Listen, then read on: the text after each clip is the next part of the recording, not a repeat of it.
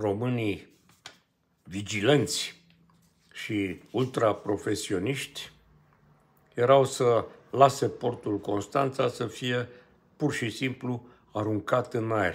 Imaginați-vă tâmpenie fără precedent, n-am mai auzit așa ceva în lume, de să descoperi în largul Mării Negre, chiar în afara apelor tale teritoriale, uh, o embarcațiune suspectă și să o aduci în rada portului Constanța și să descoperi uh, uluit care are o încărcătură de 500 de kilograme de explozibili, deci puteau arunca rușii sau cine au plasat această dronă în Marea Neagră, puteau arunca în aer portul Constanța. Uh, cum să faci așa ceva?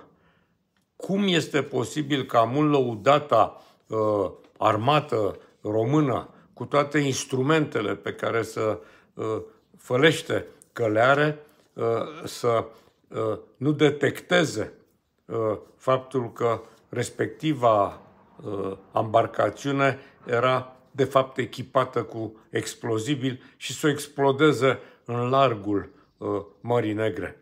Cum a fost posibil să ne expunem unui asemenea pericol? Ne rugăm lui Dumnezeu, să-i mulțumim lui Dumnezeu că nu s-a întâmplat. O mare, mare nenorocire. Pe cine am fi dat vina?